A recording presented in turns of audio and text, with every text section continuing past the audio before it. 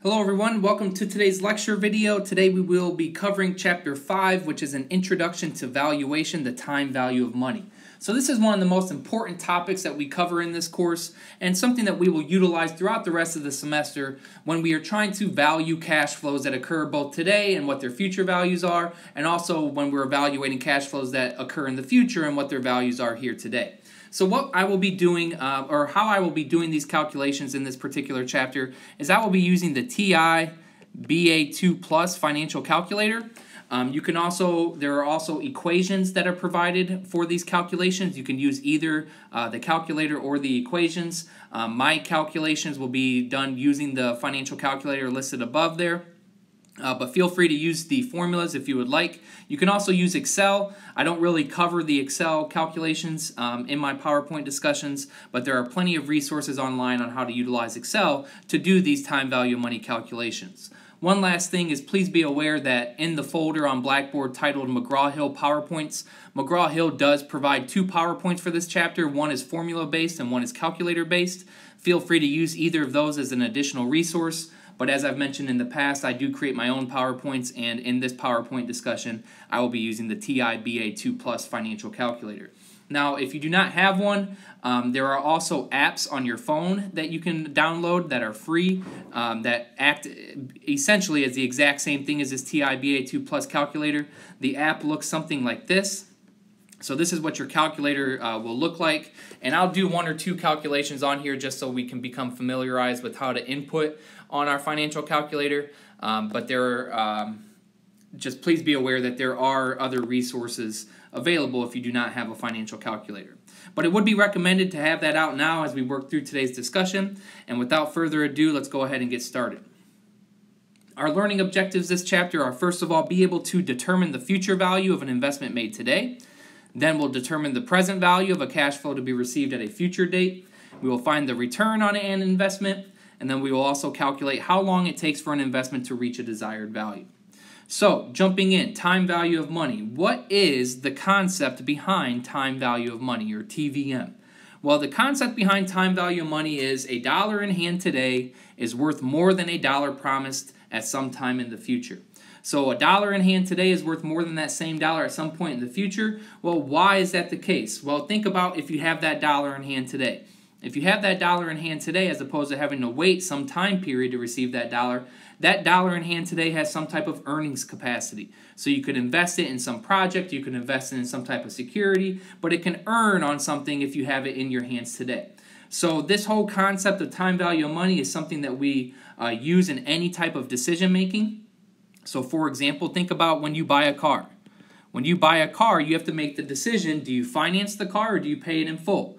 If you're going to finance the car, what's the interest rate on the loan, and then compare it to what you could earn elsewhere if you had the if you kept the money in hand today and invested it in something as opposed to paying for the car in full. Um, so what we are doing in this particular chapter is we are really trying to analyze cash flows and being able to value cash flows that we would receive at some point in the future. Now, before we get into our calculations, one thing that can be very beneficial in this chapter is the use of timelines.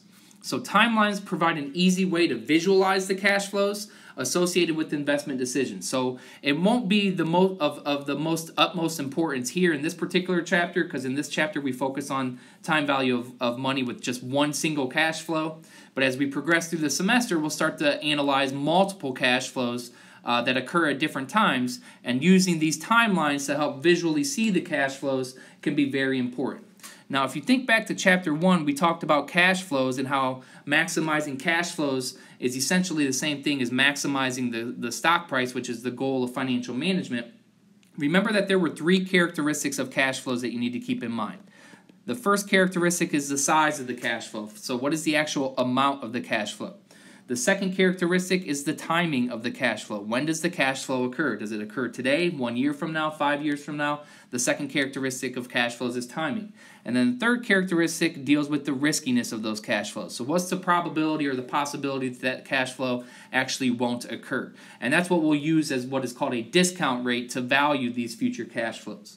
So going back to timelines, the use of timelines has three components. First of all is what is the number of periods of the, uh, of the proposal or the project or the investment?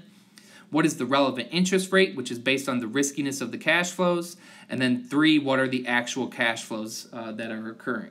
So let's do an example. We'll just draw a quick little timeline for this scenario. So suppose we have a $200 investment producing cash flows of $100 in year one, 70 in year two, 50 in year three, and 20 in year four. Assume the relevant interest rate is 5%. Draw a timeline for this scenario.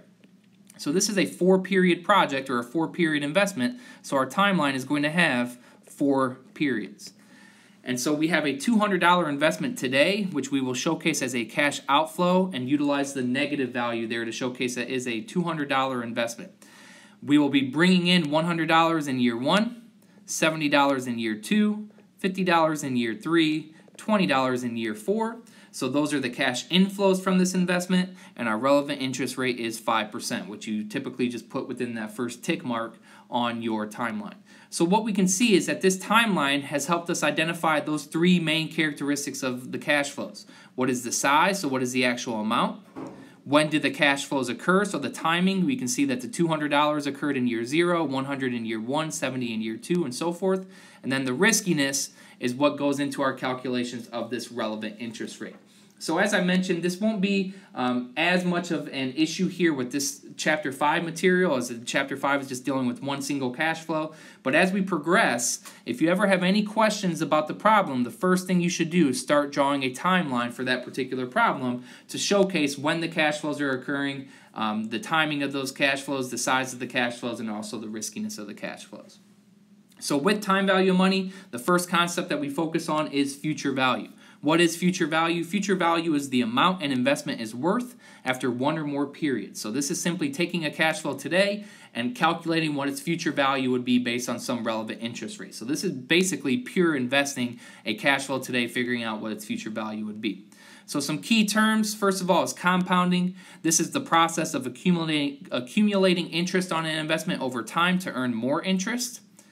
Simple interest is interest earned only on the prince on the original principal amount invested.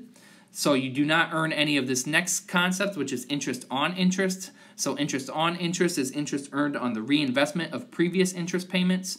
And then compound interest is essentially your total interest. So this is interest earned on both the initial principal and the interest reinvested from prior periods. So you can think of this as being the total amount of interest that you earn on an investment. So, as I mentioned, you can do these both uh, using equations and calculators. If you are using the equations, here is your general formula for future value. Future value equals the present value times 1 plus r to the t power. You might sometimes see this as 1 plus i to the t power. i and r are, are they represent the same thing. And this is your period interest rate expressed as a decimal. So when you're using the equation, you must input the interest rate as a decimal. So for example, if the relevant interest rate was 5%, you would input 0.05 into your equation.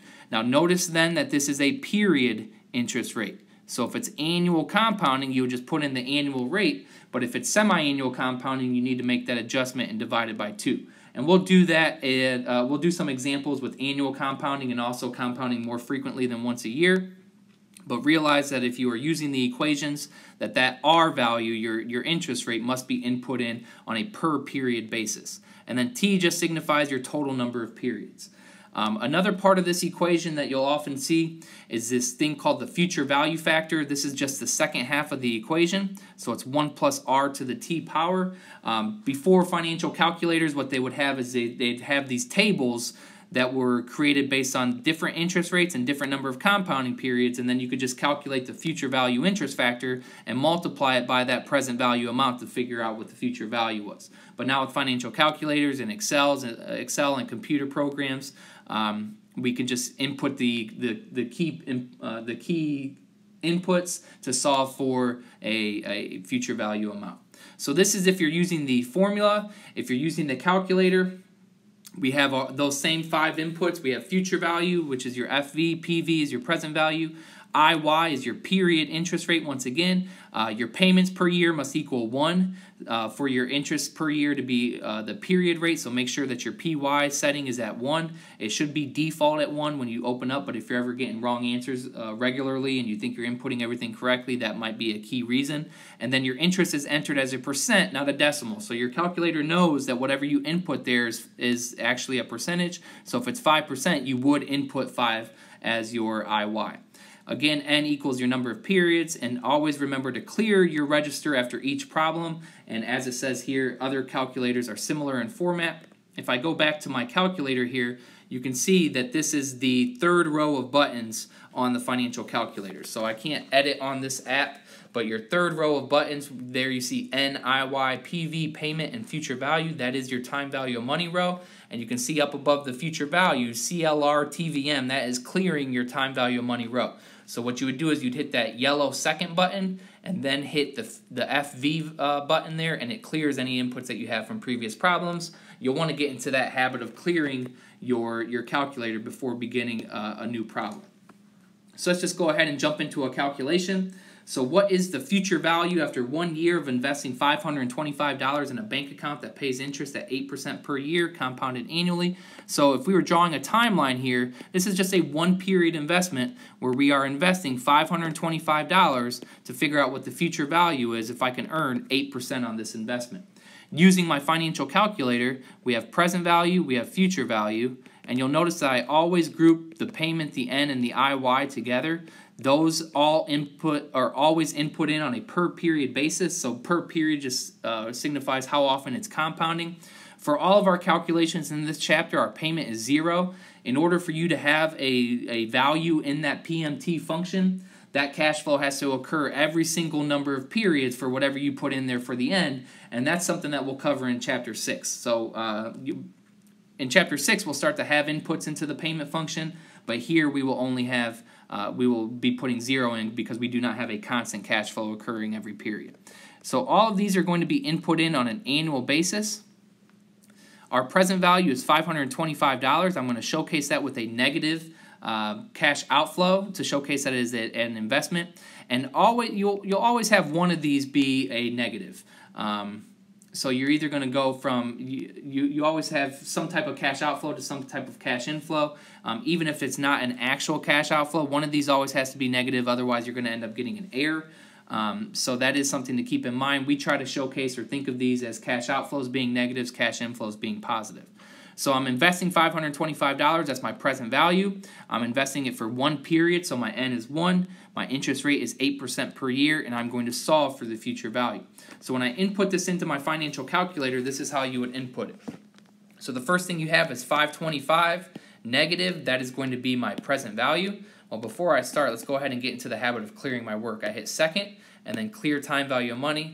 That 525 negative is my present value. I do not have a payment. My 8 is my IY, and I'm doing it for one period. And then when I want to compute the future value, I hit CPT, future value, and I can see that that investment would have grown to $567.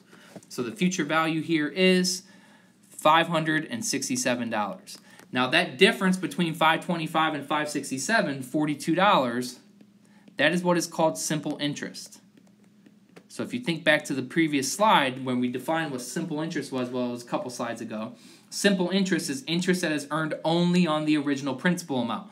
This value does not change per year. So if I invested for more period than one, it's still $42 of simple interest per year as simple interest is interest only earned on the on the principal amount.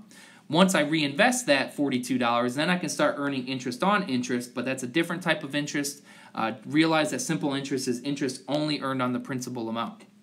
So now let's continue with that calculation or with that problem. Let's say now I'm investing that $525 now, but I'm doing so for 10 years at 8% per year. How much simple interest did I earn? Well, what I just told you is that simple interest per year does not change. So the simple interest per year is $42 per year times 10 years, $420 of simple interest. Now, compound interest is your total amount of interest. So in order to know what the compound interest is, I need to know what the future what the ending value was in the account. So what we're going to do is we are going to solve for the future value. I'm just going to do it up here in this calc or in this uh, area. I have present value and future value. I have payment, I have N, and I have IY. And once again, I'm going to input all of these values on an annual basis since it is compounding um, annually. Still no payment. Now my N is for 10 years. My IY is 8. I'm still investing $525 and I want to know what the future value is. So I solve for the future value and I end up getting a value of $1,133.44. That is my ending value. If I want to solve for how much compound interest I earn, that's your total amount of interest. So I, my ending value is $1,133.44. I invested $525. My total amount of interest then is $608.44. So that is your compound interest. That is your total amount of interest. And then last up, how much interest on interest did I earn? Well, I earned a total of 688 or $608.44. Simple interest was 420 of that. So the difference then, the $188.44 represents com- or uh, interest on interest. So that's the whole process of compounding is reinvesting interest to earn interest on previously earned interest. Okay, so let's continue on to another example. Now suppose you made a deposit of $10 at 5.5% for 10 years or uh, for 10 years and you did this 10 years ago. How much would the investment be worth today? As you can see, I have the inputs listed there on the screen. All we're doing here is if you're concerned about what's going on, we have a timeline here. It is a 10 period investment. I invested $10 in time period zero, and I want to know how much would I have at the end of this 10 year period if I could earn 5.5% per year. So I go ahead and plug in my inputs. Once again, let's showcase how to do this on the financial calculator.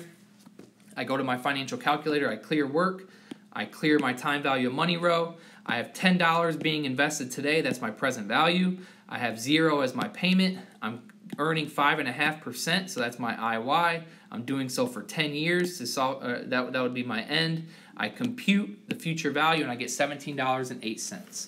So that investment has grown from $10 to $17.08. And realize that the effect of compounding is small for a small number of periods, but increases as the number of periods increase. So if as I increase my n, my total number of periods, I start earning more and more interest on interest. And let's showcase how that is. So just going on, same example, but now instead of only having that $10 deposited for 10 years, let's say it's been 200 years. So we have 200 uh, different compounding periods. How much would that investment be worth today? There are my inputs, 200 for my N, 5.5 for my IY. Still investing 10 as my present value. Notice that I don't even have payment in here, but your payment would still be zero. Again, that would have to occur every year for the 200 years if I was going to input something in for my PMT function and I saw for the future value, and my future value is $447,189.84. So, what is the effect of compounding on this scenario? Well, what is simple interest? Simple interest does not change. Remember, simple interest would be the 5.5% per year um, of $10. So if I wanted to calculate my simple interest over this 200 year period, I would take the $10 initial, uh, the initial deposit, my total amount of simple interest then is 5.5% of this $10 for 200 years, and the amount of simple interest that I earned on this investment is $120. So, what is the effect of compounding? I actually earned $447,069.84 of, of interest on interest. So, the whole purpose of this example is to, just to showcase how powerful compounding is, and the more periods you have, the greater that ending value is, the more interest on interest you will earn on, on an investment. So let's do another example here. The Jimmy G Corporation currently pays a cash dividend of $5 per share. You believe the dividend will be increased by 4% each year indefinitely. How big will the dividend be in eight years? Okay, you're reading the problem, you're struggling to figure out exactly where, where these inputs are and what, what you're solving for, draw a timeline. So in, uh, you they, they pay a $5 dividend currently in time period zero, and you want to know how much will this dividend how much will this dividend be at the end of a eight year period. So we want to know how much will this be at the end of the eight years. Now notice that this is not actually an investment, but we should still uh, think of it as a cash outflow. If you don't think of it as a cash outflow and have a $5, uh, have that 5 list as a negative, let's look at what happens. So my N, my 8 periods is my N, the 4 is my interest rate per period. I forgot to put that in my timeline. 5 is the current value, and then when I solve for the future value, it ends up giving you a negative $6.84. Now, this does not mean that this corporation's dividend is actually going to go from a positive $5 to a negative $6.84 at the end of the eight years. As I mentioned previously, one of your present value or future values will have to be negative if you don't input this present value as a negative, it's going to give you your future value as a negative. So one of those will be negative. I just always try to look at it uh, from the point of view of, of like a cash outflow for an inflow. So let's say uh, from the corporation's point of view, they're paying out $5 per year. How big will that be at the end of the eight year period? Just realize that one of those always has to be negative. When you input your answer on McGraw-Hill Connect, your final answer would be $6.84. You have to realize that that is not actually a negative value. So compounding more frequently than once a year for all of our calculations so far, we've just done annual compounding. Well, what happens if I compound more frequently than once a year? So in this case, what is the future value of investing that $525 for 10 years in a bank account that pays a nominal, which just means of name only, so it has not been adjusted for multiple compounding periods um, pays a nominal interest rate of 8% compounded semi-annually. If you're using the equations, realize that your interest rate needs to be adjusted on a per period basis. So they take the 8% and divide by the number of compounding periods per year. In this case, it would be two. And then your total number of compounding periods is the number of years multiplied by the compounding periods per year. So in this case, it would be 10 years times two. Again, I will be using the financial calculator. So let's go future value Actually, let's just go present value, future value, be consistent. And as I've always, or as I've done previously, I always group these together.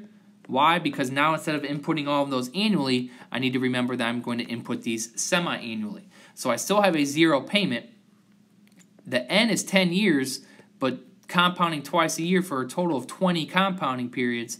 And then the IY is 8% per year divided by 2, I get 4% every six months. So that interest rate per uh, year, uh, or the interest rate is almost always provided on a per year basis. So we need to make that adjustment to input it um, into the number of compounding periods per year. So in this case, it was semi-annually, so I divided by 2 to input my, my IY on a per period basis. I'm investing $525 and I'm solving for the future value. Let's just showcase how to do this on the financial calculator. So once again, I have my calculator open. I clear my time value of money row, and I would have 525 as my initial investment. That is my present value. Still have a zero for my payment. I have 8 for the year as my IY, but I divide it by 2, and so I would input 4 for my IY, and I have 10 years being compounded semi-annually, so total of 20 compounding periods, that's my N. I compute the future value, and I get $1,150.34.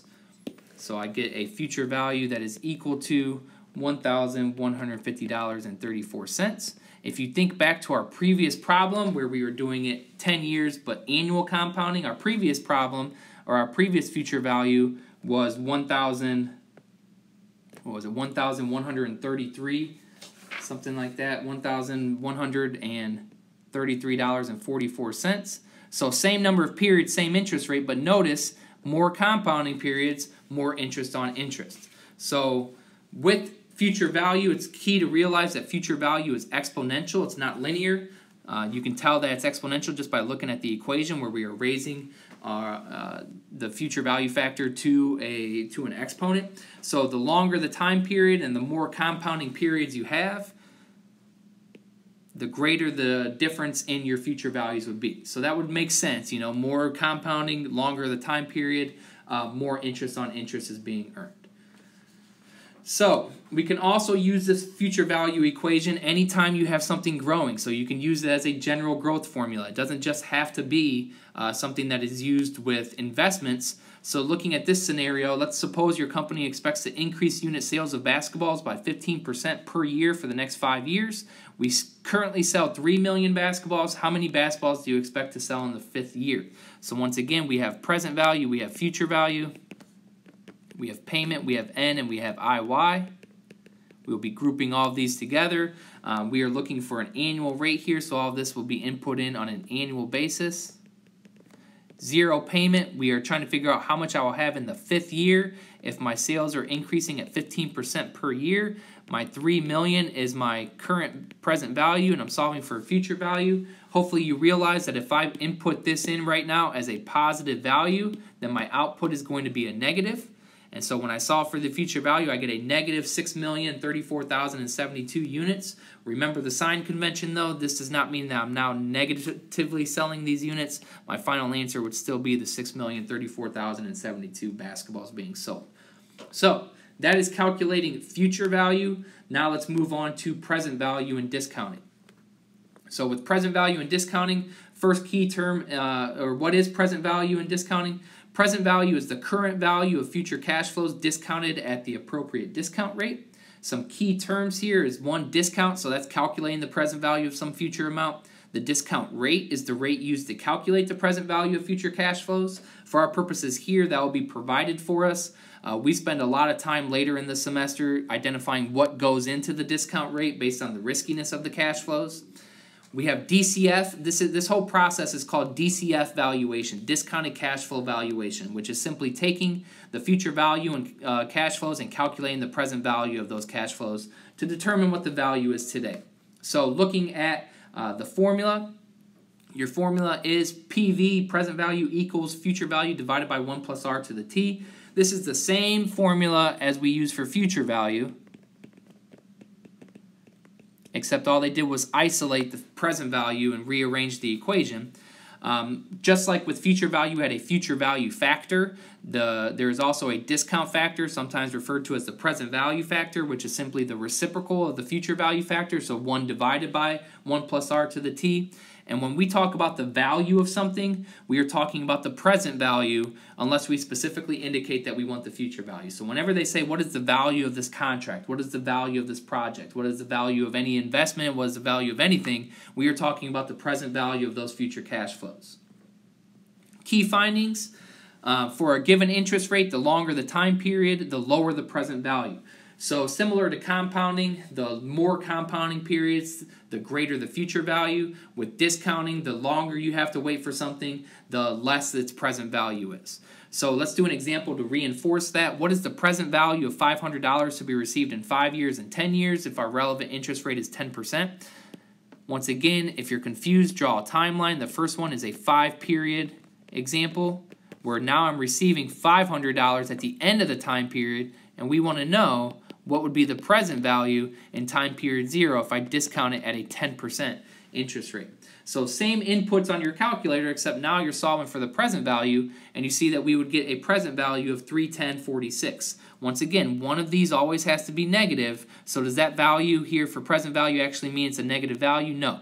That $500 in year 5 is worth $310.46 to me in time period 0. Now, if I have to wait 10 years now to receive that 500 and we want to know what is its value today based on a 10% discount rate. The longer I have to wait, the less it's worth today. So we should get a value that's less than 310, and when you plug in these inputs into your calculator, you do get a value that is substantially less than the 5-year present value. So it's worth less today if you have to wait longer to receive that cash flow. So as it's uh, stated here in the first bullet, the longer the discounting period, the lower the present value. So the longer you have to wait, the less that present value of that future cash flow is. Key findings continued. So for a given time period, the last one held the the uh, the interest rate um, the interest rate constant. So the discount rate was ten percent. In this case, now we're having a given time period. The higher the interest rate, the smaller the present value. So what is the present value of $500 received in five years if the interest rate is 10% versus 15%? So here we have two five-period examples. Here we have two five-period examples. And we're still receiving 500 at the end of both of them. But now when we calculate the present value of these two cash flows, one is using a 10% discount rate, one is using a 15% discount rate. So notice what happens that with the 10% discount rate, I get a present value of 310.46. At the 15% discount rate, it's actually smaller, 248.59. So realize that there is an inverse relationship between your discount rate and your present value. And this will become very important when we start to value bonds in particular, um, that as your interest rate goes up, so as your discount rate or your relevant interest rate goes up, the present value of future cash flows goes down. So if there's one thing that you really remember about discounting is that there's an inverse relationship between discount rates and present value. As your discount rate goes up, the present value of future cash flows goes down. Once again, this is exponential. Um, so the as as the interest rate goes up, the present value of those future cash flows goes down at a more exponential rate. So the thought process, or one way that you can think about it, is as your relevant interest rate goes up, it's more valuable to have the dollars in hand today. So if you're having to wait for those cash flows, the present value of those future cash flows actually decreases at this exponential rate as your discount rate goes up. So present value example number one Suppose you need $10,000 in one year for the down payment on a new car. If you can earn 7% annually, how much do you need to invest today?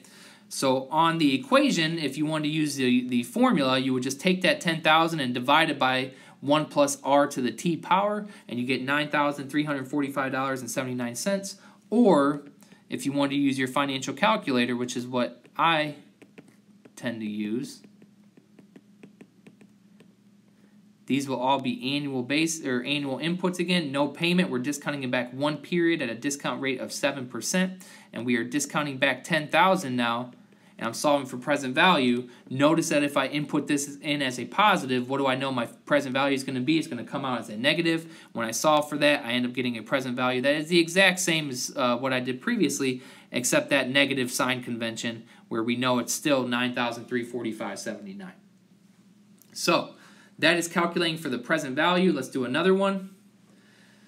You want to begin saving for your daughter's college education and you estimate that she will need 150,000 in 17 years. If you feel confident that you can earn 8% per year, how much do you need to invest today? So you're reading the problem. As you're going through the homework, you're going to have present value, future value problems uh, mixed in together. So it's important to identify when the cash flows are actually occurring. Let's say you're struggling here, so we draw a timeline.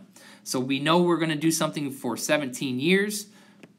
This is a 17 year time period, and we need to have 150,000 at the end of the 17 years, and we are confident we can earn 8%. How much will I need today?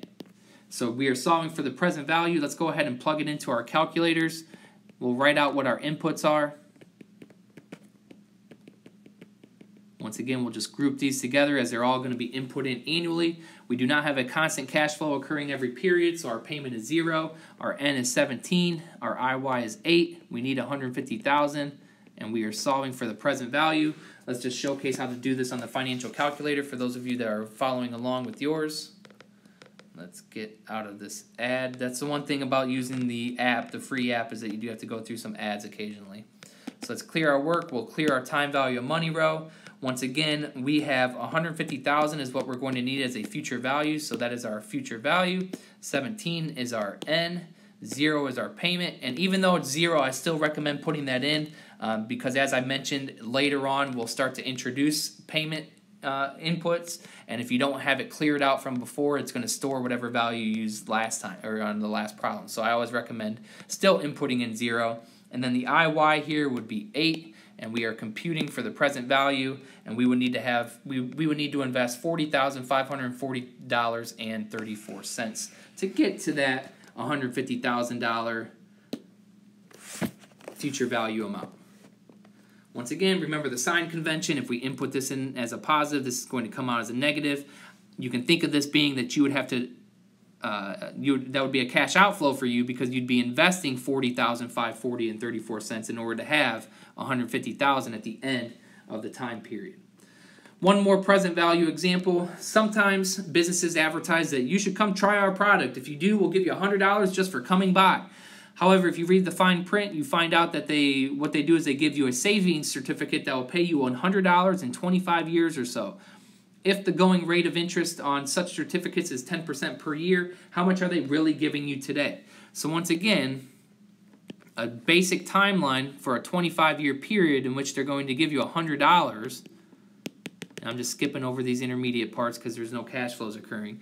If the discount rate is 10%, how much are they really giving you when you consider that you have to wait 25 years to receive that cash flow? So we have N is 25, IY is 10, future value is 100. We are computing the present value.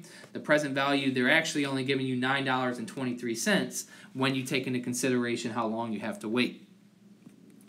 Now, all of our calculations so far have been compounding once per year. Let's do one where we compound more frequently than once per year. So now we're saving to buy a house in five years. We plan to put down 20% at the time, and we believe that we will need 35000 for the down payment. If you can invest in a fund that pays a nominal interest rate of 9.25% compounded quarterly, how much will you need to invest today? So what's important here is that we realize that now it is quarterly compounding, so all of our payment, our N and our IY need to be input in on a quarterly basis. So once again, we have present value, we have future value, we have payment, we have N, and we have IY. And once again, these all now need to be input in on a quarterly basis since we have quarterly compounding. Now there's one piece of information here that's irrelevant, and it is that 20% down. We know what the 20% down amount is, and it's 35000 So that is the amount that we're going to need at the end of the five-year period, so that is our future value. Right, we, we can draw a timeline here where we're, we're going to buy a house in five years, and they know that we're going, we know that, or we expect that we're going to need 35000 at the end of the five-year period, and we want to know how much will I need to invest today if I believe that I can earn 9.25%, sorry, 9.25%, but quarterly compounding. So it would be 9.25% divided by 4 for the per period rate on my timeline. Some people, you'll, some timelines you'll see will be broken down into even more increments based on the number of compounding periods, and then they would just put in that 9.25% divided by 4 value within the first tick mark. Um, so going back to our financial calculator, we are solving for the present value. We still do not have a payment. Our N needs to be input in on a quarterly basis. So it's five years, compounding four times per year for a total of 20 compounds. And then the IY would be the interest rate per period, 9.25, but it's compounded quarterly. So we'd actually get, um, what is that, 2.3125 as our per period rate, our per quarter rate. And when I solve for the present value then, I end up getting a present value amount of $22,156.14. So that's what I would have to invest today if I can earn 9.25% compounded quarterly in order to have 35000 at the end of this five-year period. Now, so we've done present value, we've done future value. Now let's move on to calculating a discount. Okay, so now solving for the discount rate. So oftentimes you will want to know what the implied interest rate is on an investment. So you know what you started at, your present value. You knew what the cash flow grew, grew to, so you know the future value. And you want to know what is the interest rate on that investment. So solving or using the equations, you can rearrange it and solve for the R, where you can see that your R would then be equal to your future value divided by your present value, raised to the 1 over t, number of compounding periods, minus 1 Realize that if you are using formulas, you want to make use of both the y to the x and the 1 over x keys. Um, if you are using a financial calculator, be sure to remember the sign convention or you will, will receive an error. Um, oftentimes you'll see an error 5 or it might even give you an answer but it doesn't make any sense when you are solving for the R, the interest rate, or the T. Uh, so realize that one of your present value or your future value has to be a negative value. Otherwise, you're going to get something incorrect, either an error or it's actually going to give you an answer that is an incorrect answer. Let's take a, take a look at an example here. We're looking at an investment that will pay $1,200 in five years. If I invest 1000 today, what is the implied rate of interest? So I'm thinking through this problem. I'm confused. Let's go ahead and draw a timeline. Here we have a five period problem where we are, uh, they will pay us 1200 at the end of the five years. I'm investing 1000 here today, so I'm going to make that a negative value to showcase a cash outflow. And we want to know what interest rate am I earning per year in order to earn to, to for that $1,000 to grow to 1200 at the end of the five-year period. So algebraically, you can see plugging it into the equation, we get a 3.714% return. Or using your financial calculator, remember that the sign convention does matter. Once again, I have it listed slightly different here in the PowerPoint as opposed to how I always write it out when I'm doing it by hand. These will all be input in on a yearly value, an annual value. So we have zero as our payment, is a five-year period. We're solving for the IY. The present value is the amount that I'm investing. Remember, it must be a negative or one of them has to be a negative. I like to, uh, like I've mentioned multiple times here, I like to signify cash outflows as negatives, cash inflows as positives. So I'm paying out a thousand, that's my negative value. I'm receiving 1200 at the end, that's a cash inflow. I make that a positive. I solve for the IY, I get the same value of 3.714%. Looking at another example, solving for the IY or the discount rate. Suppose I have a one-year-old son and you want to provide 75000 in 17 years towards his college education. I currently have 5000 What rate must I earn to have 75000 when I need it? So once again, we have present value, we have future value, we have payment, we have N, and we have IY. I know it's repetitive, but I always keep those together so that I realize that um, those all need to be input in on the same compounding basis. We are looking for just an annual rate here unless it says otherwise. So I have zero as my constant cash flow occurring every time period. We still have not introduced the payment function. We are going to be compounding this for 17 years. We want to know what rate would I have to earn in order to grow $5,000 in current terms, which would be a negative value because that would showcase a cash outflow. And then to have $75,000 as a cash inflow at the end of the 17 years, when I solve for the IY, I get a value of 17.27%. So that is solving for the discount rate. One question that I ask now uh, before we move forward is, can you have a negative discount rate? So previously in our calculations when we're using the financial calculator, whenever we get a negative present value or negative future value, we said, oh, that's still a positive value, just one of them has to be negative. But if I get a negative IY, does that mean that it's actually a negative value? Yes, you can have a negative IY. That would just signify a decrease in value of the investment or a negative growth rate. So what's important to look at is your present value and your future values. So if your present value to your future value decreases from uh, over the time period of the investment or the time period that you're analyzing, you realize that you actually have a negative growth rate on that particular scenario, whether it be an investment with cash flows or a growth problem. So you can have a negative IY, it just signifies that you actually went down in value as opposed to an increase. Next up, the Rule of 72. So what is the Rule of 72? The Rule of 72 is a rule that is used to approximate how long it takes to double an investment.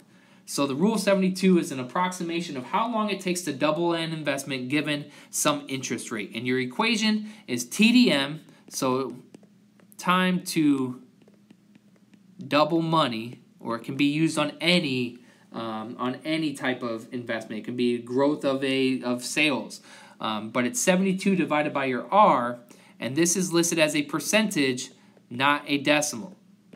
So for example, if it's 7%, you plug in 7 as your R. Okay, so how long does it take to double some investment given a, an interest rate? So at what percentage rate of return would I need to invest $10,000 to double my money in 10 years? So what we would do is we want to double it in 10 years. We would do 72 divided by I or R should be consistent with the equations. Again, those are pretty interchangeable. And when you solve using the rule of 72, you get a value of 7.2%. So you'd have to earn approximately 7.2% to double your investment in 10 years. Now let's just showcase what happens if I do it using the financial calculator. Notice what is important with the rule of 72, what piece of information is not utilized. When you use the rule of 72, it doesn't matter what you're trying to double. It could be $1, it could be $100, and in this case it was 10000 It doesn't matter what the initial amount is. It just is how long does it take to double some value. However, when you use your financial calculator, you do have to input the amount that you're trying to double in order to solve for the IY. So in this case, I'm trying to double 10,000. If I'm doubling it, my future value would be 20,000. I do not have a payment. I'm trying to double it in 10 years. What IY would I have to receive? Let's just practice again using our financial calculators here. So once again, I need to clear my time value of money row. So I'm taking 10,000 as my present value. I'm compounding it to double it to a future value. I do not have a payment yet. I'm trying to double it in 10 years. When I compute the IY, I get 7.18% or 7.177%. So using the financial calculator, I got my IY to be 7.18%. Notice that these are basically in the same ballpark. Pretty, pretty similar, uh, about two tenths off in terms of using the rule of 72 versus our financial calculator. But let's take a look another, at another example. In this case, what would I have to, or what percentage rate of return would I have to earn in order to double my money in two years? So using the rule of 72, it would be two years equals 72 divided by R. When I solve for R, I get 36%. What happens if I use my financial, or if I use the financial calculator? So I have present value and future value. I have payment, I have N, and I have IY. Once again, I'm trying to double 10,000 to 20,000 over a two-year period, what rate of return must I earn? If you do this on the financial calculator, you end up getting an IY that's equal to 41.42%. Much more of a difference between those two values. Well, why? The rule of 72 is a linear representation of something exponential. So think back to your future value and present value equations. We have exponents involved. The rule of 72 is, basic, is simply an equation of a line. So the rule of 72 is a linear representation of something that is exponential, so it has limitations. It is actually only correct on interest rates between 5 and 20%. Once you start to get out of, once your interest rates fall outside of those ranges, like it did in the second example, are the rule of 72 is not something that can be used um, as an approximation for how long it takes to double some particular investment. So that's something to keep in mind with the rule of 72. It can give you an idea as to how long it takes to double an investment, but it does have its limitations due to the fact that it is a linear representation of something that is exponential. Let's do another Rule of 72 example.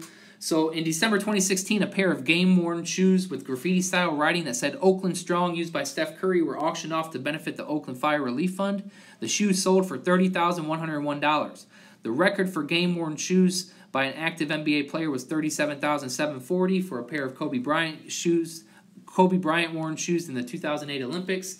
Experts often argue that collectibles such as this will double in value over a 10-year period, so were the sneakers a good investment? So what you could do here is you could use the rule of 72 that says if it's going to double in 10 years, what rate of return are you getting on your investment? You're only getting a 7.2% return. So you'd have to take that uh, you'd have to take that investment and see it, based on that risk level of buying some shoes and hoping that it double is there another investment with a similar risk that would provide a higher return than the 7.2% uh, that this particular uh, doubling would occur and you can check this again and use your uh, financial calculators and use your financial calculators on this you would get a very similar answer since that uh, that IY is between 5 and 20%. So using your financial calculators, we're starting off with a value of 30,101 and we want to double to 60,202 over a 10-year period. What rate of return must I earn? You saw for that IY, you get 7.1773%. Basically same ballpark, but once again, just being able to do this so much more quickly using the rule of 72 to get an idea as to uh, what type of return you would have to get in order to double some particular investment. So were the sneakers a good investment? Depends on how much of a, a shoe junkie you are and do you feel like the the growth of 7.2% on an investment of, of shoes is is worth that that return in comparison to other particular types of investment and their risk levels. Last up then is finding the number of periods. So how long does it take to go from uh, present value to a future value amount, knowing what the interest rate is, how many periods would it take to get to that amount. So with the equation, you are solving for t, so you're, you're, uh, you are utilizing natural log functions, becomes a little bit more difficult. Uh, with a financial calculator, just remember the sign convention. So once again, the present value or the future value has to be a negative value. So let's look at an example. We want to purchase a new car and we're willing to pay 20000 If you can invest at 10% annual interest per year and you currently have 15 how long will it be before you have enough money to pay cash for the car? And then what if I could invest it at 8% compounded quarterly? So we have two, two problems here. Let's look at the first one first. Present value, future value, payment N and IY. For the first problem, it's all annual. So this payment is zero. Uh, we are solving for the N. The IY is 10% per year. The present value is 15,000 that I'm investing and I want to have 20, so I put my present value as a negative, my future value is a positive, and I solve for the N. Let's go ahead and solve for this using our financial calculators. And I'm going to see what happens if I don't input that in as a negative and see if it reinforces my, my statement about making sure that one of them has to be negative. So I'm growing from 15,000 to 20,000 and I do not have a payment yet and my uh, my IY is the 10% per year. When I compute N, there's my error 5. As soon as I see error 5, that is because I did not input in something as a negative. So I remember that my 15,000 is actually what I'm starting at. That's my present value. Now when I compute for my n, I get 3.01. So 3.02, whatever I input everything in as, I get my output in that same format. So since everything was input in annually, this would be 3.02 years for me to grow from 15,000 to 20,000. Now for part two, now we are compounding quarterly and let's see what type of impact that has for your, for your final answer. So here I have present value, future value. That might be the best color yet for this screen. Now all of these need to be input in on a quarterly basis. Your present value and future values are single lump sums. So that's just going to be the 15,000 in present value growing to 20. No payment. My N is what I'm solving for. My IY is 8% per year, but compounded quarterly, so I have to divide by 4 to get an IY that is equal to 2. So now when I go ahead and solve this, let's go ahead and see what we get when I input it in uh, with the financial calculator. Again, repetition to get better at these. 15,000 Negative is my present value. We are growing to 20,000 as my future value. Still no payment. My IY is 8% per year, compounded quarterly for 2% per, uh, per quarter. And when I solve for the end, I get 14.52. 14.52 is the number of quarters, so I need to make sure I divide that by 4 to get the number of years. 14.52 quarters Since everything was input in on a quarterly basis, that will give me my output in the number of quarters. Apologize for my handwriting there. So I have 14.52 quarters divided by 4 gave me a number of years that was equal to 3.63 years. So 3.63 years would be my final answer there. Okay, so um, interest rate changed. If you received an error on either of these, that means one of them was not input in as a negative. I always, I tend to keep the present value as my negative inputs, but I also look at it from the point of view as that would be a cash outflow as that is what I am investing. So we have done our calculations on one cash flow growing from a present value to a future value, either solving for that future value or taking a future cash flow and solving for a present value. We've solved for an IY, we've solved for a number of periods. Let's just do a, a comprehensive problem wrapping it all up. So I have $10,000 to invest for five years. How much additional interest will you earn if the investment provides a 5% annual return when compared to a 4% annual return? So we are just changing, we have our present value and our future values here.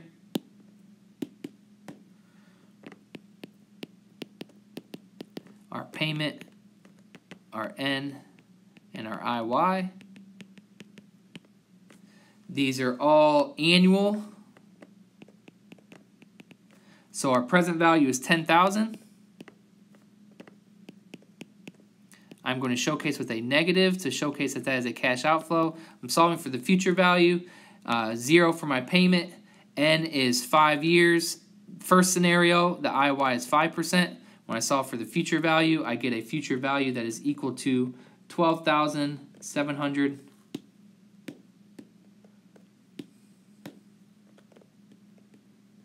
$62.82.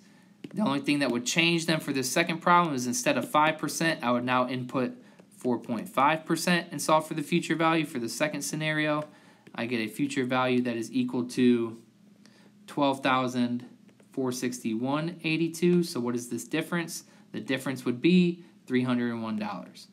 So by earning that extra half a percent over the five year period, I have an extra $301. How long would it take that $10,000 to double in value if it earns 5% annually? Well, two different ways that you can solve this one. 5% is my relevant interest rate, so the rule of 72 says take 72 and divide it by that interest rate, and I end up getting 14.4 years. So that would be an approximation. However, if they want to know specifically, then I need to make sure that I input all of the specifics into my financial calculator or however you're solving these problems. So we have 10,000 as our initial investment. We want it to grow to 20. My N is what I'm solving for. My IY is 5%. When I solve for the N, I end up getting an N value of 14.21 years. So slightly different.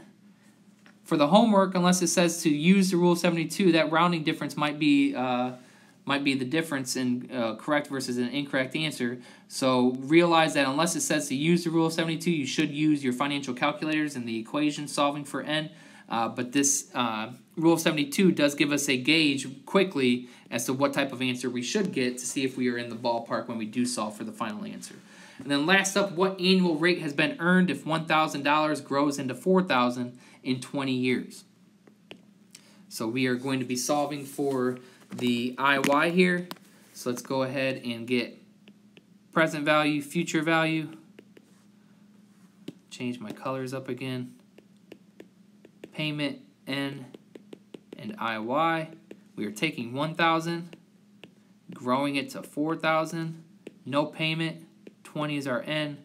Solve for the IY. When I solve for the IY, I get 7.1773%, a common return for this video. So that concludes our chapter 5 discussion on time value of money and dealing with single cash flows. Very important that you understand these concepts before moving forward, as what we begin doing in the next chapter and, and the following chapters after that is instead of dealing with just one single cash flow, then we'll be dealing with multiple cash flows, both of different sizes, so different amounts, and also cash flows that are the same amount for a set number of periods, or for infinite number of periods for that matter. We do problems like that as well.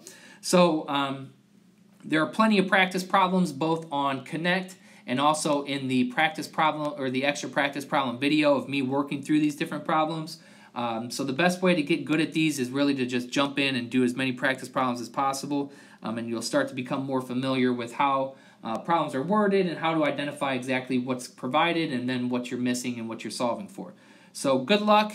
If you have any questions with anything, don't hesitate to reach out, and I'll talk to you all soon. Thanks.